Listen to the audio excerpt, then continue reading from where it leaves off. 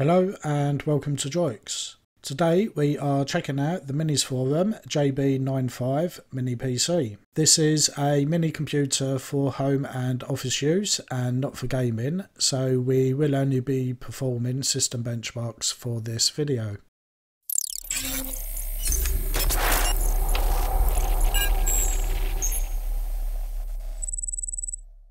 Let's get started with the unboxing.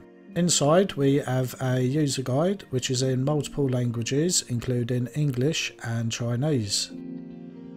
Next there is the MinisForum JB95 Mini PC which we will show in more detail shortly. There is a power supply and we will include the correct adapter for your country when ordering.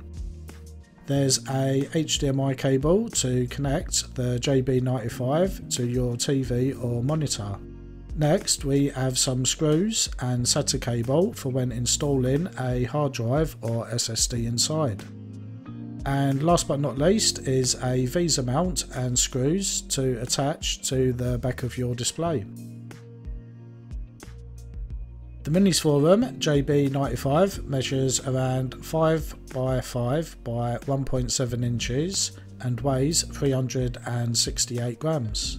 On the front from left to right are a USB Type-C port, two USB 3.1 ports, a 3.5mm headphone port and the power button.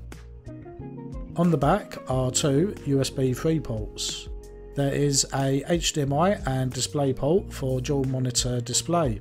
There is a gigabit ethernet port and finally a USB Type-C port which is used for the power supply.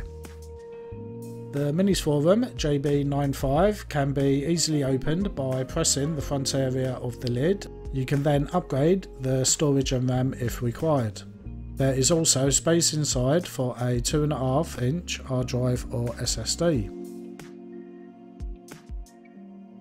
Onto some brief technical specifications. It features the Intel Celeron N5095, which has 4 cores and threads running up to 2.9 GHz. There's 8 gigs of DDR4 dual channel RAM and either 128, 256 or 512 gigs of M.2 SATA SSD. There's 802.11 AC Wi-Fi and Bluetooth for wireless connectivity. We start the benchmarks with Passmark, which pushes the CPU, GPU, RAM and storage to the maximum in a series of tests. The JB95 scores 1450, which is not bad for a PC of this specification. Next, we are running the PCMark benchmarks, which tests the performance of more day-to-day -day tasks, such as web browsing, working with Office documents and media consumption. The JB95 scores 2376. It's not the highest scores we have seen, but it's pretty good for this specification of mini PC. 3DMark tests the CPU and GPU for its graphics performance. It's not just for gaming, but also for tasks such as video decoding and image processing. The MinisForum, JB95 scores 211. You would not be able to enjoy any demanding games at all, but it's fine for video decoding such as YouTube videos. A brief recap of the benchmark scores. As you can see, the JB95 is on the lower end of system performance, which is reflected by its processor.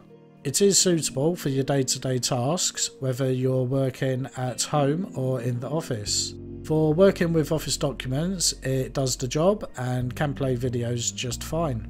If you are looking for some gaming on the side, we would recommend looking at one of the higher specification mini PCs that we sell, as this one is not suitable for gaming.